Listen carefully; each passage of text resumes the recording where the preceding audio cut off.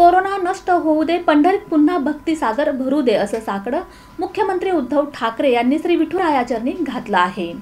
पंढरपुरात पुन्हा एकदा भक्तिसागर भरू दे भक्तिरसात टाळ मृदुंगांच्या गजरात तुझ्या ओढीची पायी वारी पुन्हा एकदा सुरू होऊ दे कोरोनाचं संकट नष्ट होऊ दे महाराष्ट्राला आरोग्य संपन्नता लाभू दे असं साकडं मुख्यमंत्री उद्धव ठाकरे यांनी आषाढी एकादशीच्या महापूजेवेळी पांडुरंगाच्या चरणी घातलं.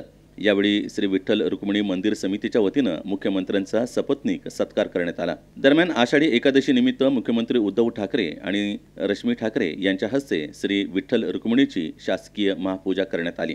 यावेळी पर्यावरण मंत्री आदित्य ठाकरे पालकमंत्री दत्तात्रय भरणे पंढरपूरच्या नगराध्यक्षा साधना भोसले गहिनीनाथ औसेकर जिल्हाधिकारी मिलिंद शंभरकर दिलीप पांढरपट्टे तसंच मुख्य कार्यकारी अधिकारी दिलीप स्वामी कोल्हापूर परिक्षेत्राचे विशेष पोलीस महानिरीक्षक मनोज लोहिया पोलीस अधीक्षक तेजस्वी सातपुते आदी उपस्थित होते. यावेळी सगळ्यांना आनंदी आणि निरोगी आयुष्य जगण्यास मिळू दे वारकऱ्यांनी आणि भगवा वारकऱ्यांनी आणि भगव्या पताक्यांनी भरलेलं आनंददायी पंढरपूर पुन्हा एकदा पाहायचं आहे असंही मुख्यमंत्री म्हणाले.